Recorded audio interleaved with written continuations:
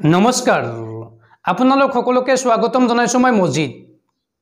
বন্ধুসকল পলকতে চাওঁ আহক আজি সন্ধিয়াৰ সাতটা গুৰুত্বপূৰ্ণ খবৰ। প্ৰথমটো খবৰ ৰাজ্যবাসীৰ বাবে দুখজনক খবৰ।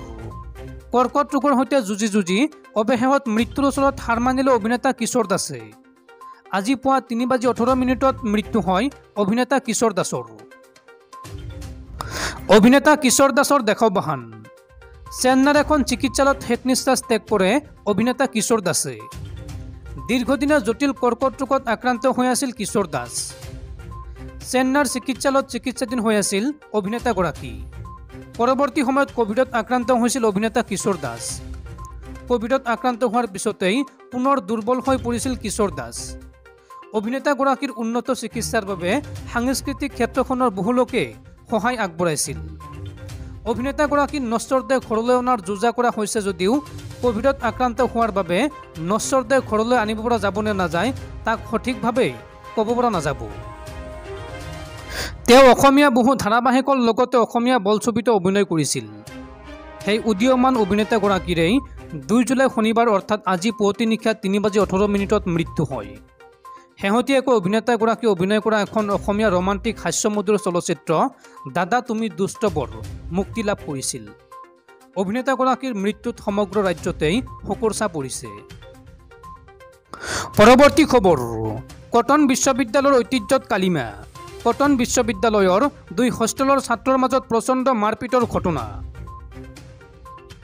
অসমৰ ঐতিহ্যমণ্ডিত শিক্ষানুষ্ঠান কটন বিশ্ববিদ্যালয়ৰ দুই হোষ্টেলৰ ছাত্ৰৰ মাজত সংঘটিত হৈছে প্ৰচণ্ড মাৰপিটৰ ঘটনা।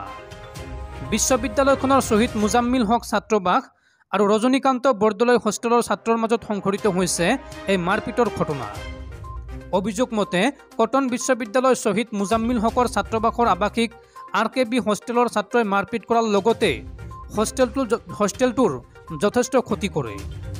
হোষ্টেলটোৰ কোঠাৰ দুৱাৰ খিৰিকীৰ গ্লাছ ভঙাৰ লগতে যথেষ্ট ক্ষতি কৰাৰ অভিযোগ উত্থাপন হৈছে। মাৰপিটৰ ঘটনাত কেইবাগৰাকীও ছাত্ৰ গুৰুতৰভাৱে আহত হৈছে। পৰৱৰ্তী খবৰ। প্ৰতিটো মুহূৰ্ততে নাটকীয়ভাৱে পট পৰিৱৰ্তন হৈছে মহাৰাষ্ট্ৰৰ ৰাজনীতিৰ এইবাৰ শিৱসেনাৰ পৰা বহিষ্কাৰ কৰা হ'ল মহাৰাষ্ট্ৰৰ নতুন মুখ্যমন্ত্ৰী একনাথ সিন্ধেক পত্ৰযোগে এই ঘোষণা মহাৰাষ্ট্ৰৰ প্ৰাক্তন মুখ্যমন্ত্ৰী তথা শিৱসেনাৰ অধ্যক্ষ উদ্ধৱ ঠাকুৰেৰ।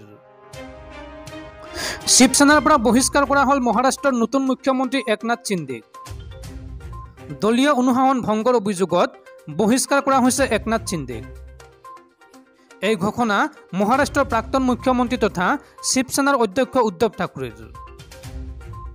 কিছু সময়ৰ পূৰ্বে একনাথ সিন্ধেক বহিষ্কাৰ কৰাৰ কথা ঘোষণা কৰিছে উদ্ধৱ ঠাকুৰে।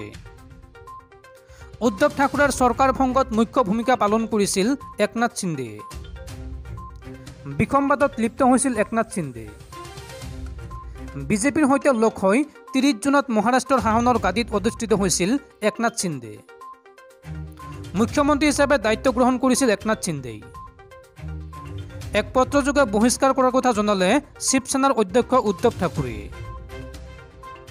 বন্ধুসকল তাৰপিছৰ চাৰি নম্বৰ খবৰটো জনোৱাৰ আগতে আপোনালৈ এতিয়া সৰু ৰিকুৱেষ্ট যদি এতিয়ালৈকে এইটো ভিডিঅ'ত লাইক কৰা নাই তেন্তে প্লিজ এটা লাইক কৰি দিয়ক। আৰু এনেকুৱা ধৰণৰ নতুন নতুন ভিডিঅ' পাবলৈ চেনেলটো ছাবস্ক্ৰাইব কৰি কাষত থকা বেল আইকনটো প্ৰেছ কৰি ৰাখক। পৰৱৰ্তী খবৰ। মণিপুৰত প্ৰকৃতিৰ তাণ্ডৱ লীলা। ভূমিস্খলনত এই পৰ্যন্ত একাশীগৰাকী লোকৰ মৃত্যু। ৰাজ্যৰ ইতিহাসৰ আটাইতকৈ বেয়া ঘটনা বুলি আখ্যা মুখ্যমন্ত্ৰী এন বীৰেন সিঙৰ। মণিপুৰত ভূমিস্খলনত একাশীগৰাকী লোকৰ মৃত্যু। ৰাজ্যৰ ইতিহাসৰ আটাইতকৈ বেয়া ঘটনা। এই মন্তব্য মুখ্যমন্ত্ৰী এন বীৰেন সিঙৰ। একাশীগৰাকী লোকৰ মৃত্যুৰ লগতে বৰ্তমানে কোনো সন্ধান নাই পঁচপন্নগৰাকী লোকৰ। এই বিষয়ে কৈ দুখ প্ৰকাশ কৰে ৰাজ্যখনৰ মুখ্যমন্ত্ৰী এন বীৰেন সিঙে। তেখেতে কয় যে এইটো ৰাজ্যখনৰ ইতিহাসৰ আটাইতকৈ দুখজনক ঘটনা। বহু সাধাৰণ লোকৰ লগতে বহু কেইগৰাকী সেনা জোৱানেও প্ৰাণ হেৰুৱাইছে এই ভূমিস্খলনত আনহাতে ভাৰতীয় সেনাৰ এক চৰকাৰী বিবৃতি অনুসৰি ননী ভূমিস্খলনস্থলীৰ পৰা তালাচী অভিযানৰ সময়ত আঠজন সেনা জোৱান আৰু চাৰিজন সাধাৰণ লোককে ধৰি বাৰটা মৃতদেহ উদ্ধাৰ কৰা হৈছে কালিৰ দিনটোত। বুধবাৰ আৰু বৃহস্পতিবাৰৰ নিশা উত্তৰ পূবৰে পাহাৰীয়া ৰাজ্যখনত হোৱা দুৰ্ভাগ্যজনক এই ভূমিস্খলনৰ ঘটনাত এতিয়ালৈকে কেইবাজনো লোকে প্ৰাণ হেৰুৱাইছে। নিৰন্তৰ উদ্ধাৰ অভিযান নিৰীক্ষণ কৰি থকা মুখ্যমন্ত্ৰী এন বীৰেন সিঙে ভূমিস্খলনক মণিপুৰৰ ইতিহাসৰ আটাইতকৈ বেয়া ঘটনা বুলি অভিহিত কৰে। তেখেতে কয় যে ই ৰাজ্যখনৰ ইতিহাসৰ আটাইতকৈ দুখজনক ঘটনা। আমি একাশীগৰাকী লোকৰ প্ৰাণ হেৰুৱাইছোঁ। যাৰ ভিতৰত ওঠৰগৰাকী সেনা বিষয়াৰ মৃতদেহ উদ্ধাৰ কৰা হৈছে। আনহাতে প্ৰায় পঁচপন্নগৰাকী লোক আবদ্ধ হৈ আছে। পাহাৰ খহি অহা মাটিৰ পৰা সকলো মৃতদেহ উদ্ধাৰ কৰিবলৈ আৰু দুইৰ পৰা তিনিদিন লাগিব। বুধবাৰ আৰু বৃহস্পতিবাৰে মাজনিশা জিৰিবামৰ পৰা ইম্ফললৈ নিৰ্মাণাধীন ৰেলপথৰ সুৰক্ষাৰ বাবে টুপুল ৰেল ষ্টেচনৰ ওচৰত নিয়োজিত ভাৰতীয় সেনাৰ এশ সাতটা টেৰিটৰিয়েল আৰ্মীৰ কোম্পানীৰ অৱস্থানৰ ওচৰত ভূমিস্খলনৰ ফলত ক্ষতি হয়। পৰৱৰ্তী খবৰ ৰাজ্যবাসীৰ বাবে এক উদ্বেগজনক খবৰ ৰাজ্যত পুনৰ বাঢ়িছে কভিডৰ সংক্ৰমণ। ৰাজ্যত বিগত চৌব্বিছ ঘণ্টাত নতুনকৈ পুনৰ আঠাত্তৰগৰাকী লোক আক্ৰান্ত হৈছে মহামাৰী কভিড নাইণ্টিনত। সাৱধান ৰাজ্যত পুনৰ বাঢ়িছে কভিডৰ সংক্ৰমণ। বানৰ বিভীষিকাৰ মাজতেই বৃদ্ধি পাইছে কৰোণাত আক্ৰান্তৰ সংখ্যা। বিগত চৌব্বিছ ঘণ্টাৰ ভিতৰত কভিডত আক্ৰান্ত হৈছে আঠাত্তৰগৰাকী লোক কামৰূপ মেট্ৰত সৰ্বাধিক এষষ্ঠিগৰাকী লোক আক্ৰান্ত হৈছে কৰোণাত। বিশ্বনাথ গোৱালপাৰা যোৰহাট নলবাৰী তিনিচুকীয়াত এজনকৈ লোক আক্ৰান্ত হৈছে কৰোণাত। কামৰূপ গ্ৰাম্যত বাৰজন লোক আক্ৰান্ত হৈছে কভিডত। ৰাজ্যত আৰোগ্যৰ হাৰ হৈছে আঠানব্বৈ দশমিক আঠ তিনি শতাংশ। পৰৱৰ্তী খবৰ। দেশত পুনৰ ভয়ংকৰ বিমান দুৰ্ঘটনা।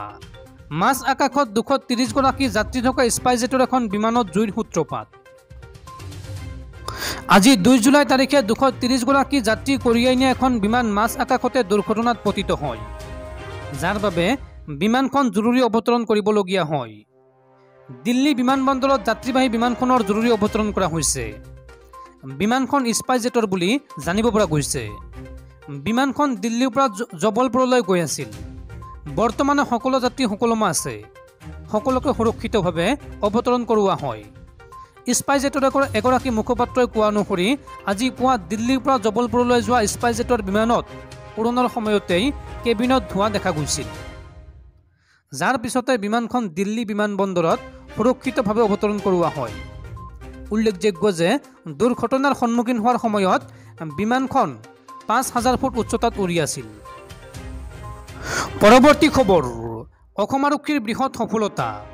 নিষিদ্ধ ঘোষিত উগ্ৰপন্থী সংগঠন কে এলত যোগদান কৰিব যোৱা ছয় যুৱকক আটক। কমতাপুৰ লিবাৰেশ্যন অৰ্গেনাইজেশ্যন চমুকৈ কে এলত যোগদান কৰিবলৈ যোৱা ছয়জন যুৱকক আটক কৰিছে অসম আৰক্ষীয়ে। আটকাধীন যুৱকসকলক কোকৰাঝাৰ আৰ এন বি চিকিৎসালয়ত স্বাস্থ্য পৰীক্ষা কৰোৱা হৈছে। নাগালেণ্ডৰ মঞ্জিলৰ পৰা যোৱা ত্ৰিছ জুনত নাগালেণ্ড আৰক্ষীৰ সহযোগত অসম আৰক্ষী আটক কৰে কে এলমুখী যুৱকসকলক। কে এলত যোগদান কৰিবলৈ গৈ আৰক্ষীৰ হাতত আটক হোৱা যুৱককেইজন হ'ল ক্ৰমে। পশ্চিমবংগৰ অপন বৰ্মন তাপস ৰায় মনোজ ৰায় আৰু কোকৰাঝাৰৰ উত্তৰ চৰাইখোলাৰ বিষ্ণু বৰ্মন বিপ্লৱ ৰায় আৰু বিশ্বজিৎ ৰায়। আটকাধীন যুৱকসকলক সম্প্ৰতি কোকৰাঝাৰ আৰক্ষীৰ জিম্মাত ৰাখি জেৰা জেৰা অব্যাহত ৰখা হৈছে।